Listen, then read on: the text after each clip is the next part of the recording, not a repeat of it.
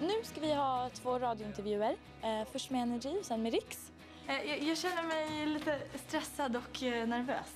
Men jag tror att det kommer bli bra. För vi var så sena nämligen så vi har sprungit hela Ringvägen. Kom in och, och känn er som hemma. Bara massa legender. Hur är det? Fantastiskt. Eh, varsågoda och sitt. David Guetta, When Love Takes Over. Det här är Energy Morgon med knappen. Och så har vi ett helt hockeylag med folk här inne. Eh, välkomna hit. Eh, vi har förstått att ni kallar er för Play. Yes! Delar av er har hängt ihop ganska länge. Yes. Ja, Jag och Fanny, eh, we go way back. Vi eh, blev signade som 12-åringar till Sony i USA och eh, har jobbat tillsammans i många, många år.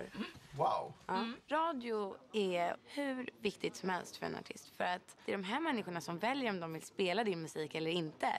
Och få ut musiken. Och det är det vi jobbar för. Att, att människor ska lyssna på vår musik. Så att om det inte går bra med de här killarna så eh, då är, man, då, då är det inte bra på något sätt. Så det här är otroligt viktigt. Vi har inte hunnit med någonting. Vi är så stressade. Och vi eh, hittade Sanne igår.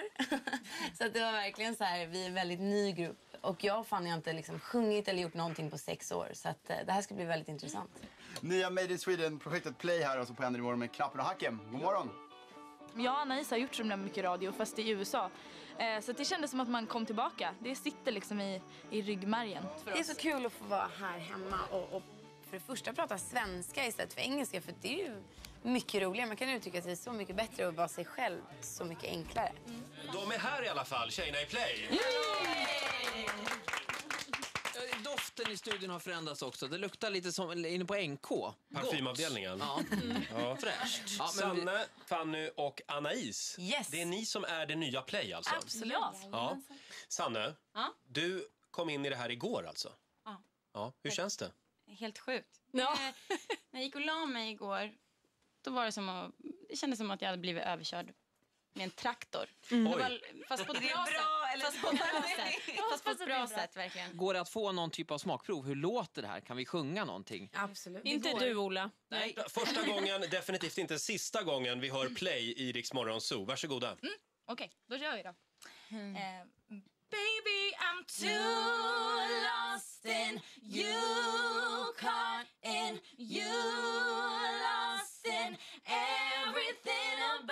so deep. I can't sleep, I can't think, I just think about the things that you do.